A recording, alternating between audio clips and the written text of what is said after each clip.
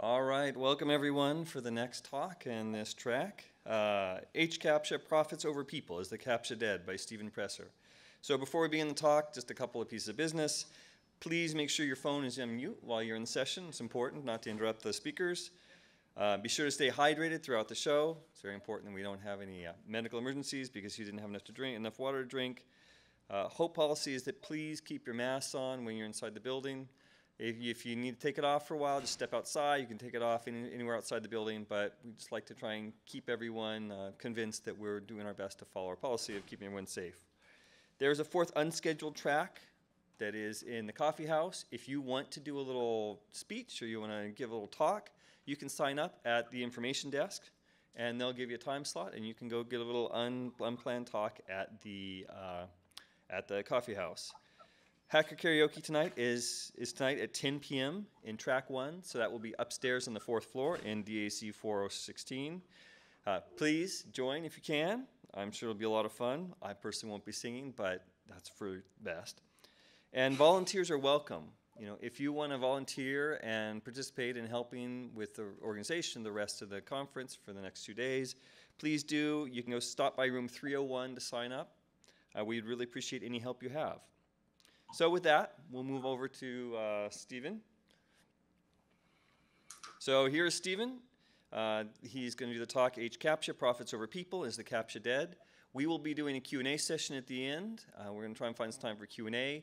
Steven is remote. He can't hear you and he can't see you. So when we get the QA session, we're going to turn the mic around and you can just come up and ask questions directly to the mic so he can hear you and interact with you.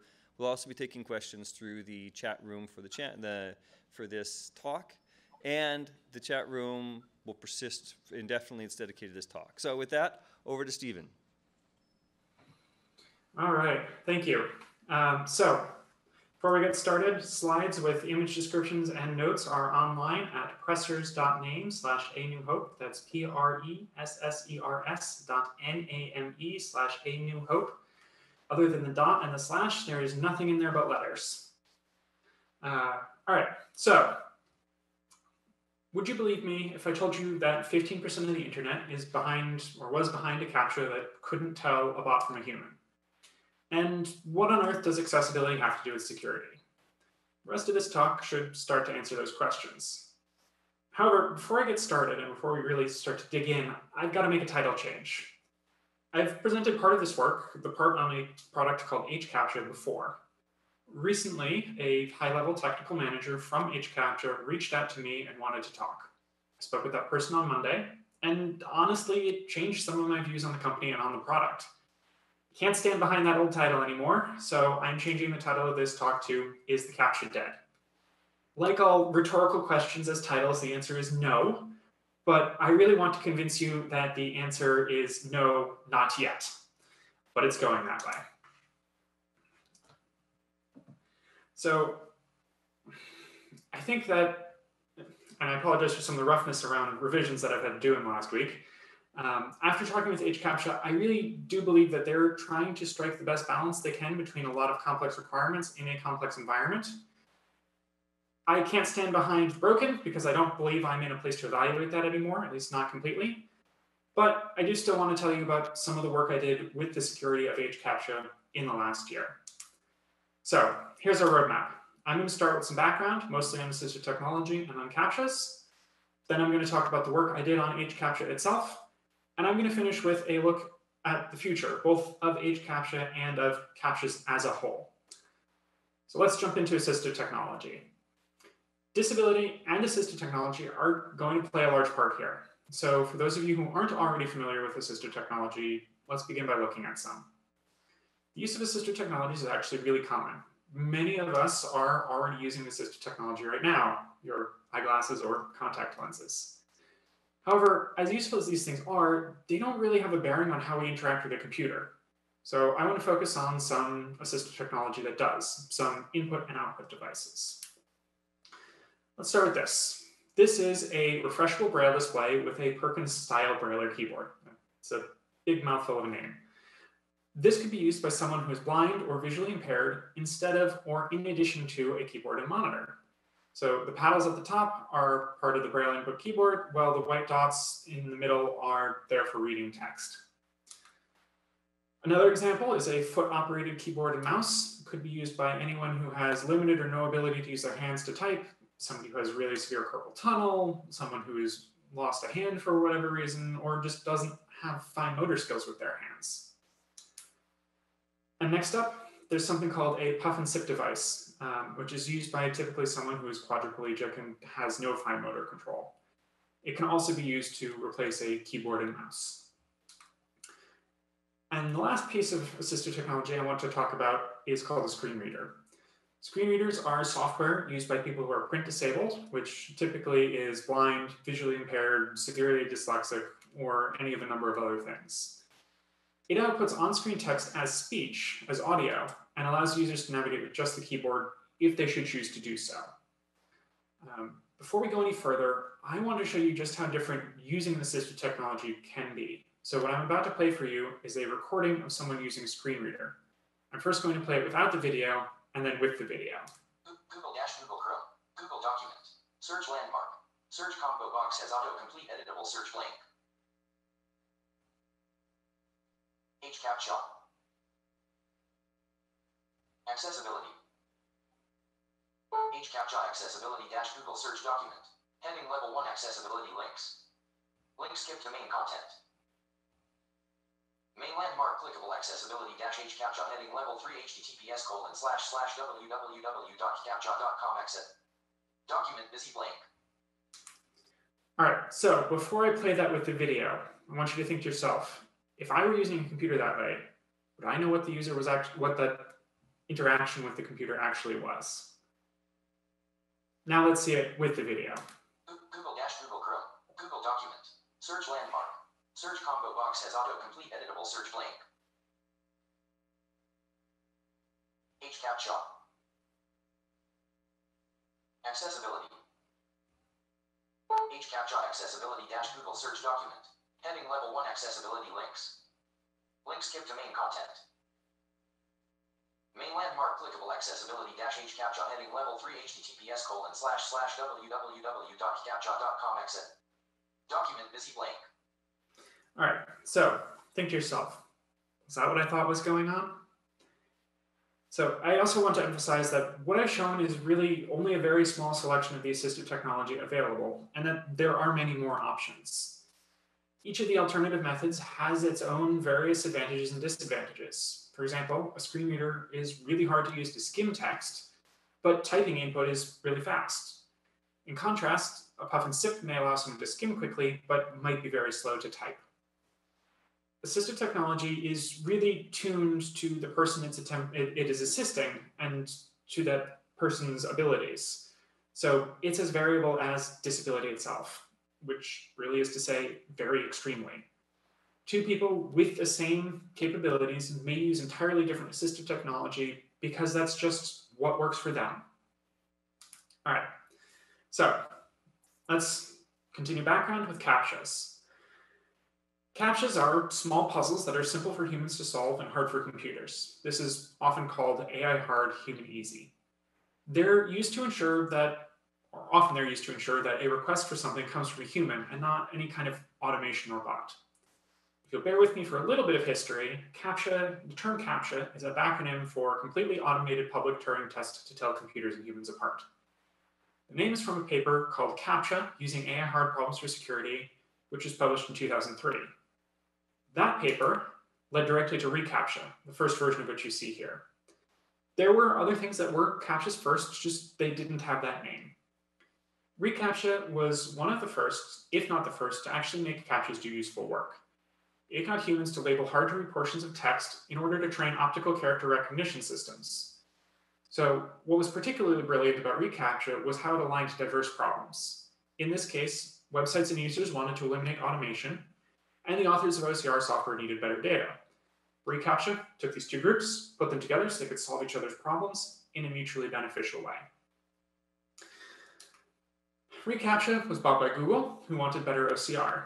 Eventually, however, machine OCR got to be as good or better than human, making it no longer an AI hard problem.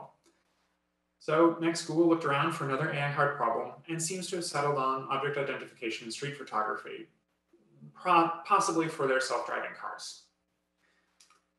And then they've revised reCAPTCHA once again into this now familiar I'm not a robot checkbox. This tracks the user's behavior on the page, it applies machine learning, and it uses that to make a very good guess about whether the user is human or automation. The user's only asked to solve a puzzle if they look like automation. Otherwise, you check the box and you move on with your life, no need to solve a puzzle.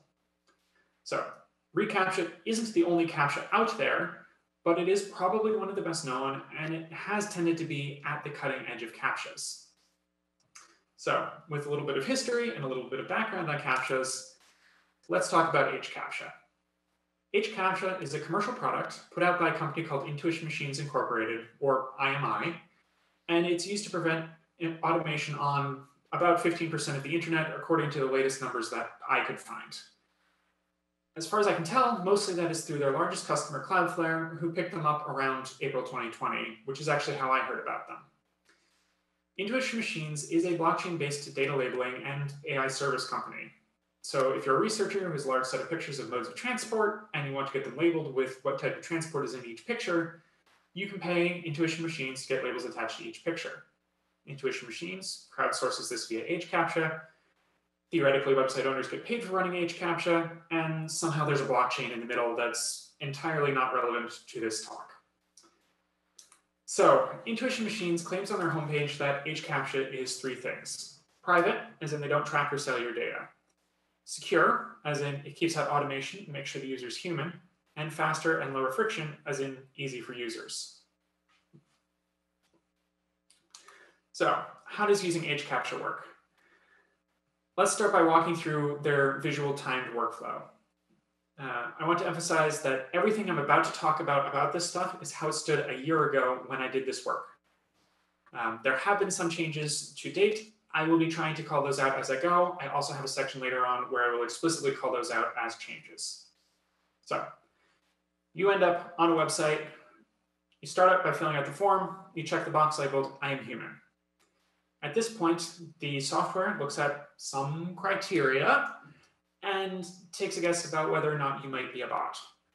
The criteria that the system looks at are an Intuition Machine's secret, but there might be things like your IP address, if it's been able to put cookies in your browser before, your behavior on the page, so on and so forth. If you look like automation, you get shown a challenge my personal experience across HCAPTCHA's website, eBay, again, a year ago when I was doing this, Cloudflare, and some other sites where I've run into it is that when I see HCAPTCHA, I get a challenge. HCAPTCHA, at least in part, exists to get data labeled, so there's something of an incentive to show as many photos as possible to as many users as possible. Of course, it's also possible that something about my profile is just inherently suspicious. So let's continue with this visual timed workflow. You'd then be presented a challenge like this. Select all the images that contain a boat. You click them, you click next. You repeat for a new set of images, you click verify. And finally, that modal dialog goes away, box checks, you're certified as human by HCAPTCHA, and on you go. So let's say you can't use that visual timed workflow. Perhaps you're blind and you can't identify images, or you're quadriplegic and you can't select the images quickly enough. How do you get through HCAPTCHA's challenge? You use their accessible workflow. So let's start walking through that again as it stood a year ago. Starts in the same place with a form to fill out and the I am human box to check. So you check the box. And up pops a challenge. Well, you can't do it. If you're lucky, you don't spend a lot of time trying, and instead you start looking for any kind of accessible option. Eventually, you might find the burger menu in the bottom left-hand corner of that modal dialog, and from there, there's an accessibility menu item. You click on that. Brings you to a page where you can put in your email to sign up for accessibility access. You submit that form. It says it's going to send you an email. So you go check your email. Eventually, an email that looks like this shows up. Um, calling out a change, there's that thing that looks like a button. It's actually a link. It's not a button. But now they are explicitly putting the text of the URL below it so that if for whatever reason you can't click a link that looks like a button, you can still get through. Um, so it's labeled get accessibility cookie. You click that, which brings you to a web page that looks like this. You click set cookie. And a little notification lets you know that the cookie is set. When I first tested this, it seemed like that cookie set announcement didn't work, at least to screen readers. When HCAPTCHA reached out to me, they told me that this is something that they regularly test. And now, this week, I have been able to go back and re-verify. Today, this works. The cookie set text announces uh, for your screen reader or browser, you know, whatever software you're using, at least as far as I was able to test. So whatever else may be the case, HCAPTCHA does test for and fix accessibility issues. Anyway, you have a cookie, you go back to the form you were working on, which has probably timed out. So you fill it in again, you check the I am human box, and this time it just works. This actually seems like a pretty reasonable process, right? At least to cover the entire gamut of potential assistive technology and disabilities that might have trouble with the visual timed workflow. The process is seven or eight steps, assuming everything works properly, some of which involve waiting.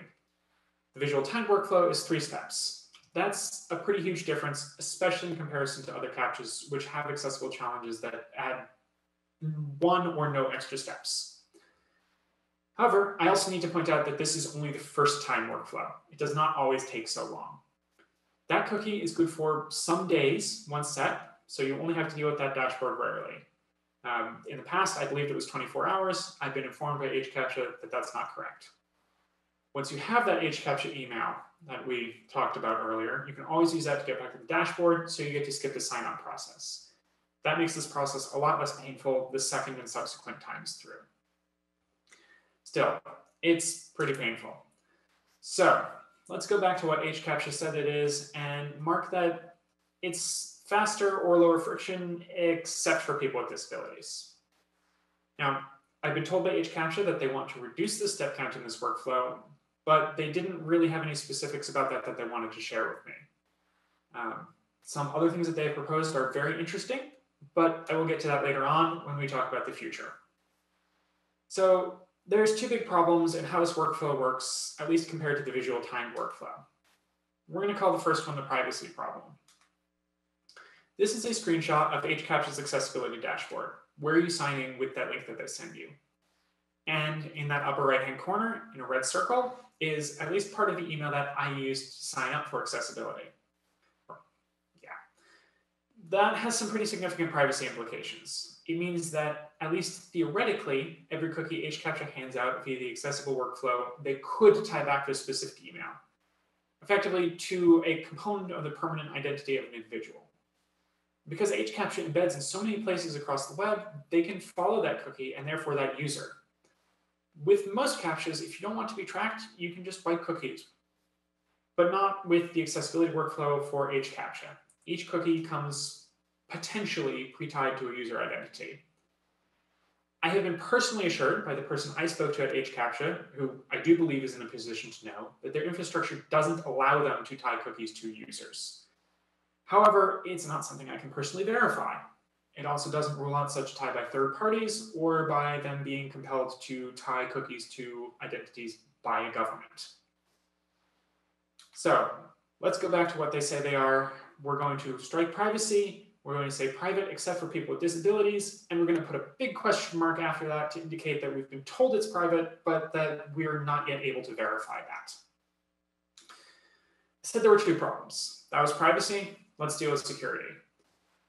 I'm not the first person to look at security. There's a paper called A Low Cost Attack Against the HCAPTCHA System, um, which used their images as training for machine learning, was able to pass with a 95% success rate. HCAPTCHA and Cloudflare both dispute the accuracy and methodology of the study. HCAPTCHA in particular say the researchers hit something they call an anti-drain capability, and that passing the CAPTCHA doesn't necessarily mean passing the evaluation of being human basically what they're saying through their public statement here is that they detected the researchers' automation, they passed them through the CAPTCHA anyway, and that's supposed to work. As far as I'm aware, there's been no reevaluation or repetition of the study. So take it for what it's worth. I would call it disputed at this point. So we'll go back to what they are, and we'll put a question mark next to secure, in my opinion, we as members of the public right now really don't have enough information to know the truth there. So, quick pop quiz before we go into the second problem. Where does the accessible workflow actually verify that the user is human? Show of hands. Well, yeah, show of hands. For those, uh, so A, is it when the user clicks a button? B, when the user enters their email, C, when the user opens a link in an email, or D, whenever you want, just check the user agent of the browser. I can't see the room, but those of you who didn't raise your hands were actually the most correct. There is no part of that process that actually does a verifiable check that you're human. Um, that means that no part is AI hard and no part is difficult to automate. So this video that I'm about to talk over is of some quick automation I put together to prove that this process can be automated. It's not anything particularly fancy. It's just xdotool, driving mouse, a little custom Python to run a mail server. And as you can see, or will see in a moment, it's perfectly capable of running through the entire accessibility workflow on its own. Putting this together is actually pretty darn interesting. When you hit a countermeasure, any part of the system simply kicks back a contact support error debugging without any feedback other than you hit a countermeasure, but you can't know what it is, is pretty fun. Uh, so, one other thing that was a challenge to me personally was handling this incoming email. I've never dealt with handling incoming email before in a programmatic way, and was originally trying to set up an email server that would pipe the body of the email to a custom Python script, which did not work out. But I can say that Python has a good module called SMTPD that is got great callbacks for handling incoming email messages. All right, at this point, we're going to take another version. HCAPTCHA does have countermeasures to automation and that appear at least to be mostly in the form of rate limiting. So at least that I've been able to see and hit myself. Each cookie that you get from the accessibility workflow can only be used so many times. Each account only gets so many cookies per day. Each IP address can only sign up for so many accounts per day, and each domain can only sign up for so many accounts per day. But domains are cheap, rotating IP address is easy, and so I can't verify how effective these are in the real world. So we'll go back to what HCAPTCHA is or was a year ago. We're going to strike secure and say, except that it appears it can be automated. HCAPTCHA's initial written response to me, of course, said that I'd most likely been caught in a similar anti-drain capability and was being allowed to pass even though they detected my automation. This is a pretty convenient answer when researchers start poking your stuff. We detected you attacking us and we decided to let you believe that you were successful. As a security researcher, that means that I can't verify either way whether or not I had been successful or not. So for now, we're saying it looks like the automation was successful and any true verification would have had to cross the line into real attacks on the system, which we can't do as ethical researchers. So by now, I hope I've convinced you that their accessibility workflow is or appears to be broken. All the work I did on it was under their bug bounty program, so I've disclosed it to them, and I've disclosed it to Cloudflare, who run a second instance of the HCAPTCHA software. Both of them, it was declared, declared that it was not an issue due to the mitigations that they had and declined to disclose, or it wasn't an issue due to resource usage required to circumvent the CAPTCHA. Um, I'd actually like to give a positive shout out to Cloudflare here. It's not their software. They had a pretty well, and they had a very well written reason for why it wasn't a security issue, but they still paid out on their bug bounty. So I've alluded to it, but one big question that this raises that I'm not going to focus on is how should bug bounties deal with non-verifiable systems, where there isn't a binary between it worked and it didn't work?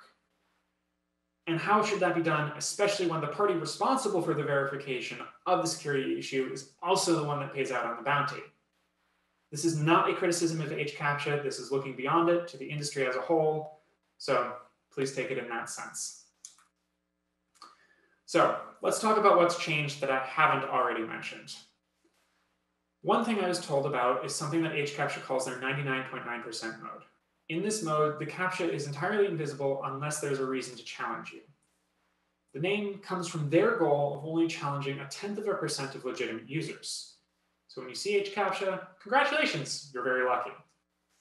Uh, I haven't been able to verify anything about how well this works or anything like that beyond the text that's on their enterprise level marketing page.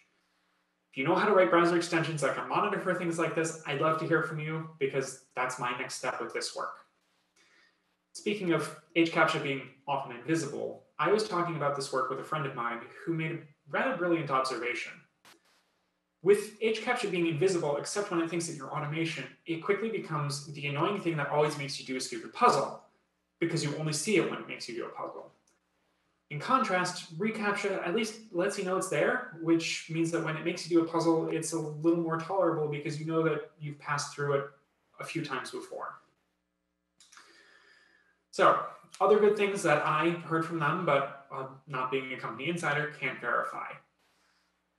First thing that I heard, and I really hope this one is true, their training set for what is human includes users of various assistive technologies. This implies that these users are not getting picked out as automation, at least because of their assistive technology, I hope.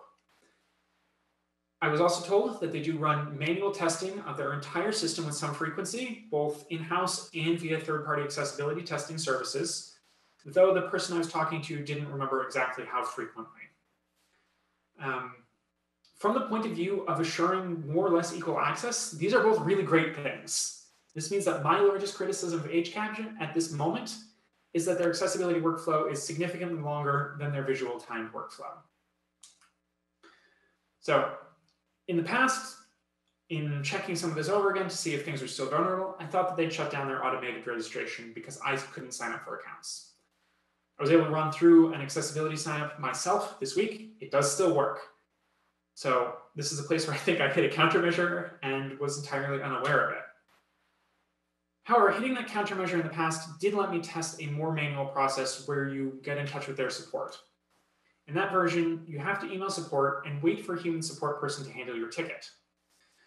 When they do this, or when I did this, they asked for my IP address, my browser, what website I was on, and what about HCAPTCHA didn't work for me. As someone who wrote an email saying, hi, I need to sign up for an accessibility account, that last bit is particularly critical. Doesn't quite require disclosing a disability, but it does get pretty close. Saying I can't see the photos isn't the same as saying I'm blind, but it has the same effect. All that said, I've been told that this is a place that they are willing and trying to improve. I've been told that they have changed how they ask this question, and I have been asked for feedback on how to better ask the question.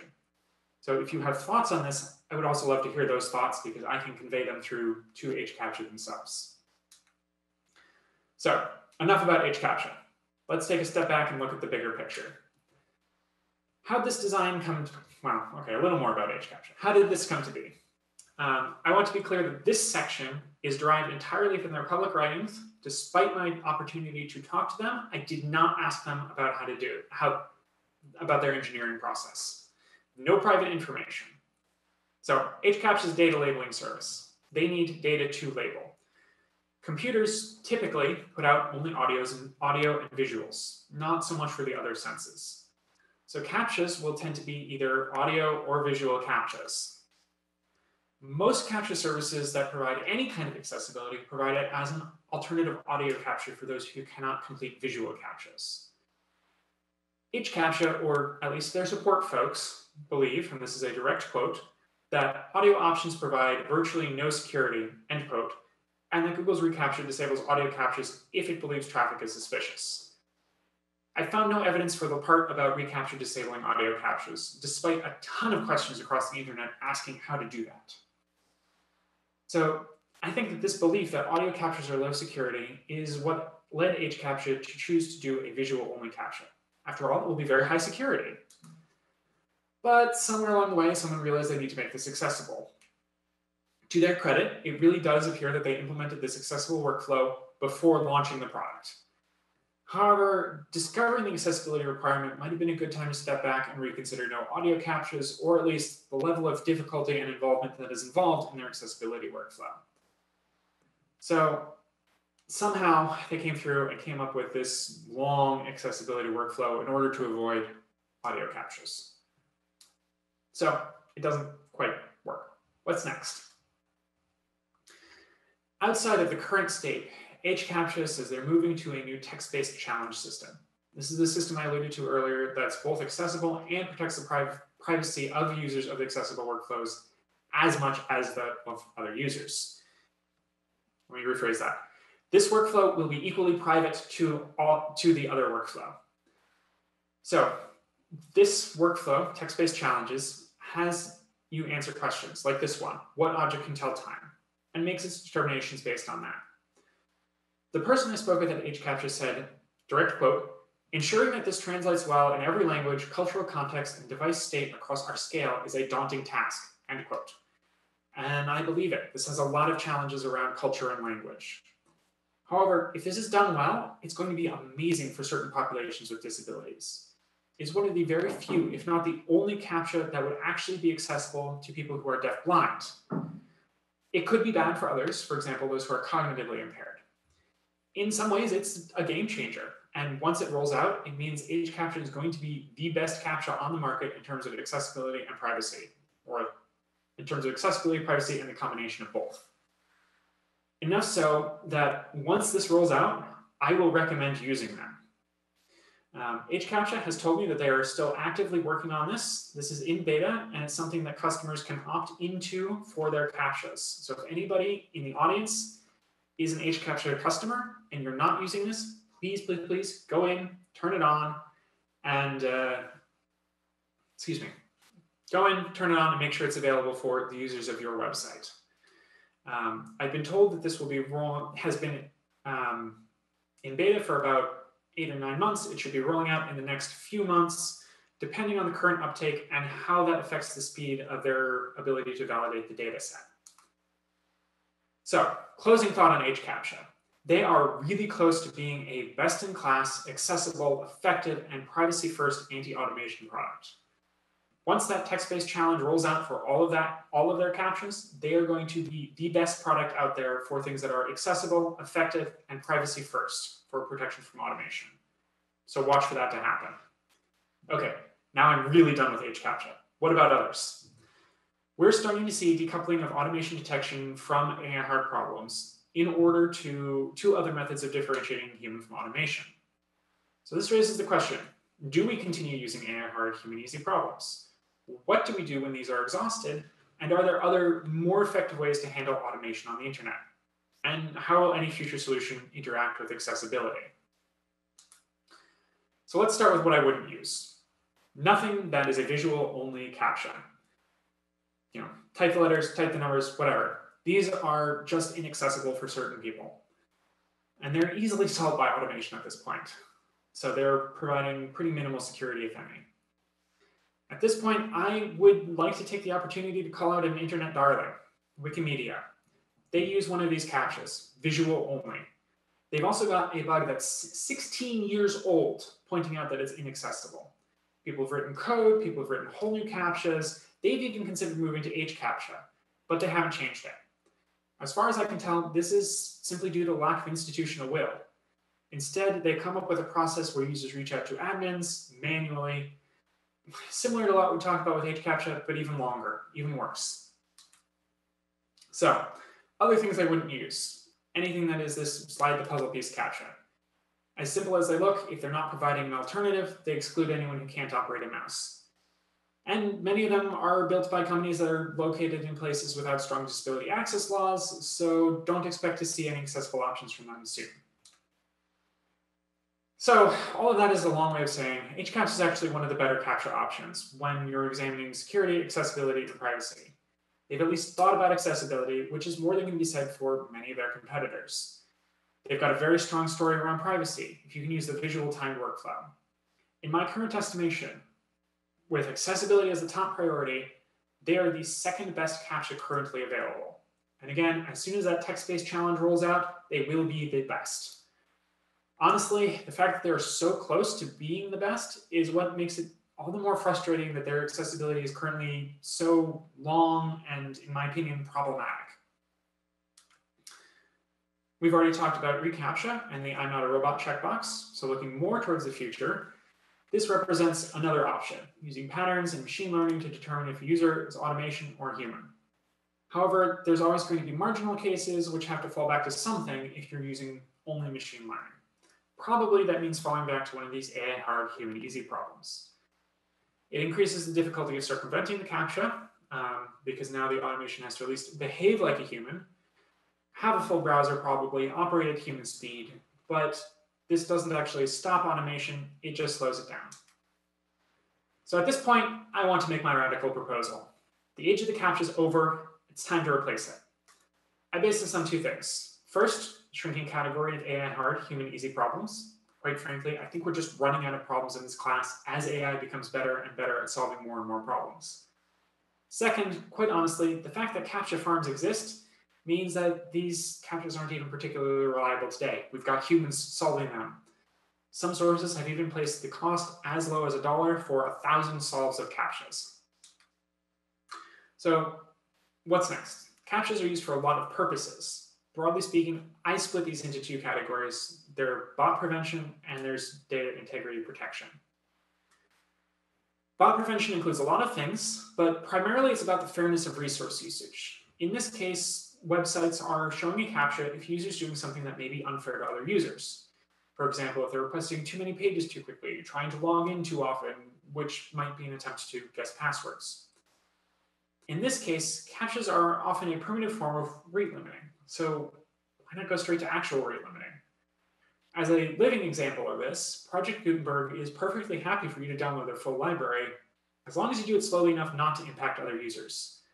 They actually hand out a curl command line to allow users to do that. So data integrity protection is more about making sure that only good data is getting into systems. Spam protection.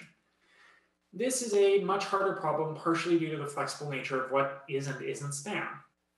A post about photo editing software on a photography forum probably not spam. On a knitting forum, probably spam. The nerd in me wants to suggest AI as the solution to this, but honestly, it's probably too complicated for most sites to set up, absent doing absent someone creating a really good way of building user-friendly, generalized AI anti-spam systems, which is a tall order. Problem's complicated. If a site or service requires payment, you could require a valid credit card. If not, perhaps a valid email from a trusted provider.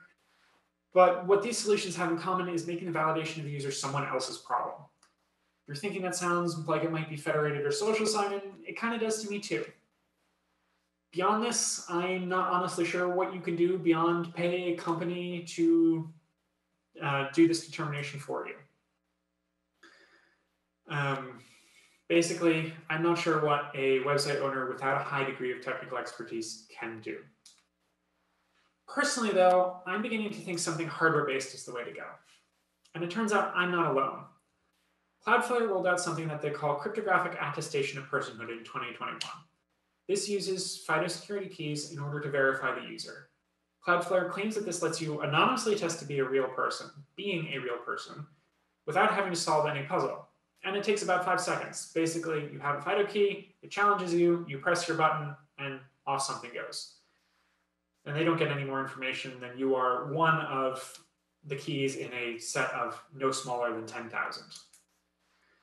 However, it's pressing a button. It's vulnerable to what Cloudflare calls the drinking bird attack.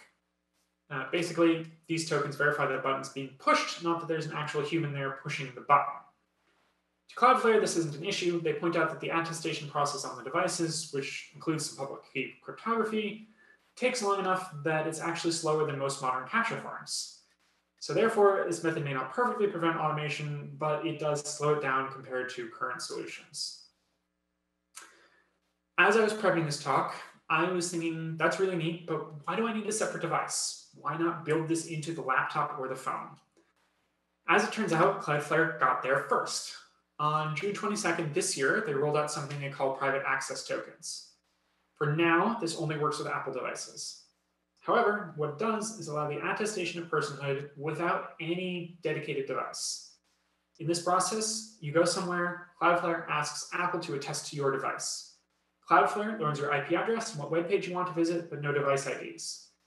On the flip side, Apple learns the device IDs, but nothing about what website you want to visit. Uh, in Cloudflare's estimation, this is quicker and more privacy protecting than their previous solutions. And it's built using open standards, so expect other manufacturers to start providing it soon, I hope. The person I spoke with at HCAPTCHA said that they actually have hooks built in for protocols like this, and they're hoping to roll this same private access token out to their customers shortly. I think it was private access token. Nor is HCAPTCHA alone uh, or Apple or Cloudflare. It seems there are indicators that most or all of the major players in the attestation of personhood or the CAPTCHA space including Apple and Microsoft, are looking at things like this, where you don't have to do anything. So basically, zero interaction verification of humanity. So let's come back to accessibility. How does this relate to that? Well, a lot of these hardware-based solutions are minimal or no interaction.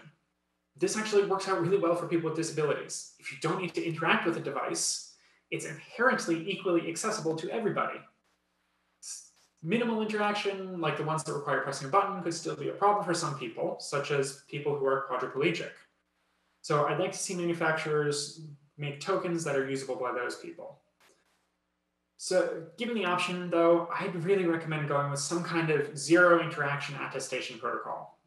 It's inherently accessible, it will reduce friction for users at the same time. Basically, it's a win all around.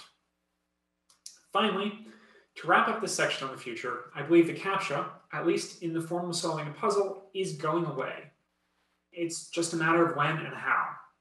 A future where automation doesn't flood the internet with spam, your device can automatically be verified completely privately, and you never see a CAPTCHA sounds pretty darn nice, doesn't it?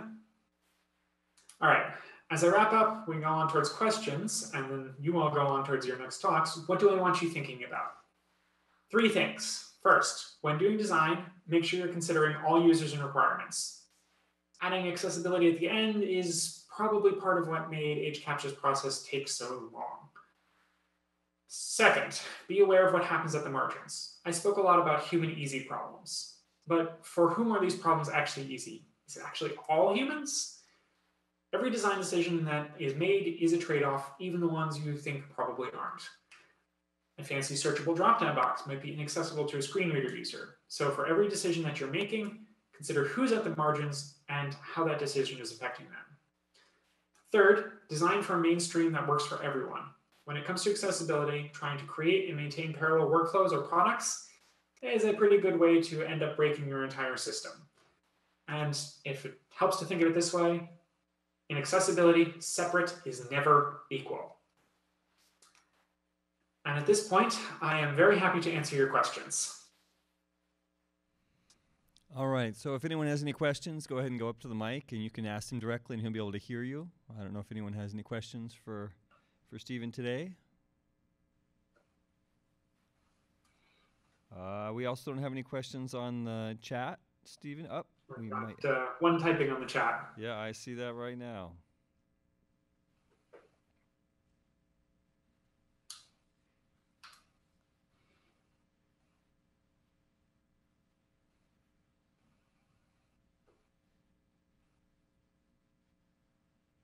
Still typing.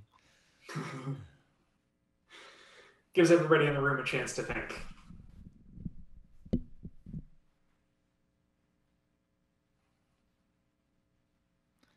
I mean, out of personal curiosity, are there any other strategies that are being explored in terms of this type of validation outside of you know, text and visual and sound based?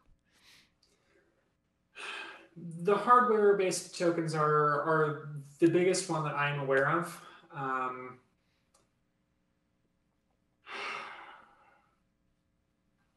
honestly, I would say at this point, there seems to have been something of an industry realization that the CAPTCHA as it stands as a puzzle isn't the way of the future. Um, and it seems like every time I turn around, there's somebody proposing something new. Um, so while I can't think of anything else that isn't hardware based right now, I'm sure there's something out there. All right, we have the question in the chat. Uh, you talked about would be accessible privacy first CAPTCHAs, but with caveats. Uh, what do you recommend for one right now before the next generation solutions come online?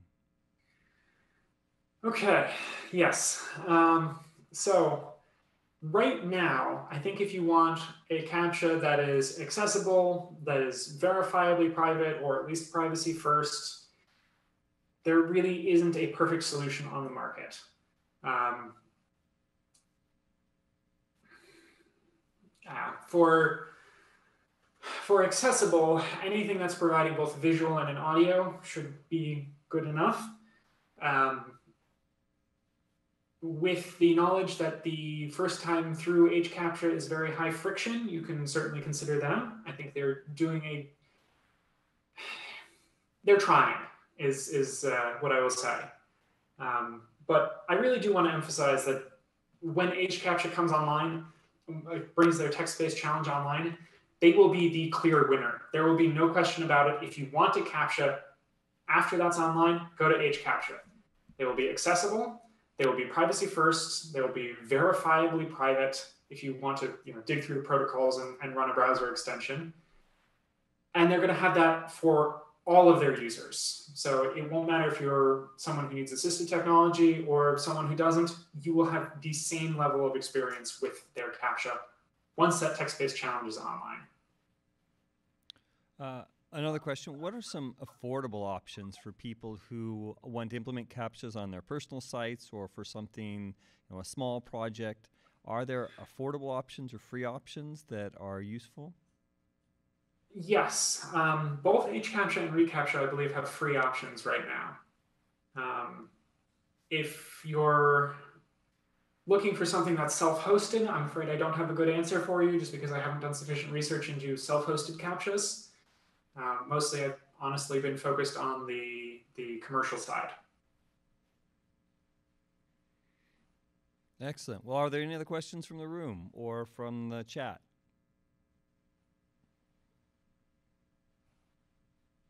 Oh, it looks like we might have another question coming in on the chat.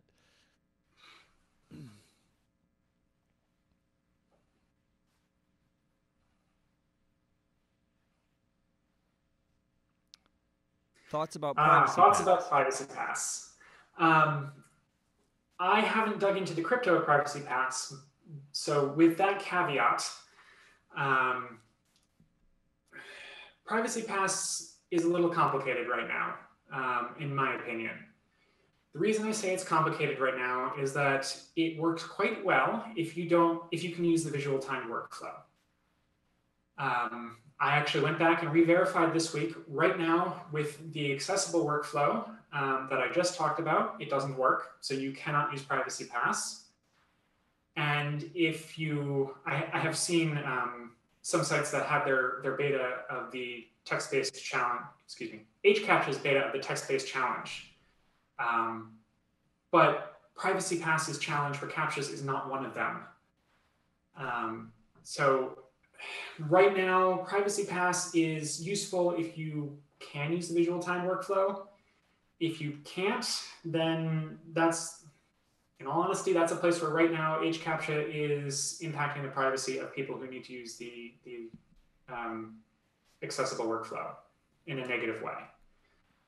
Um, so complicated feelings, or complicated answer, that boils down to they need to turn on the text-based challenge for Privacy Pass. And once that challenge is turned on, have at it. Verifiably private, you know, uh, blinded tokens is a great thing. It just needs to be actually accessible before I can fully recommend it. Excellent. All right. Well, thank you so much for your time, Steven. We really enjoyed your presentation. Thank you. And if uh, anyone wants to follow up with Steven, again, the Matrix chat will be open for the rest of the conference and beyond, so you can interact directly with Steven for any further questions or any materials from his presentations for the chat. And so, thank you again, Steven. Uh, come back in, in 10 minutes for the next chat. Botnets are the best way to measure user hostile behavior on the internet. Thank you for being attending.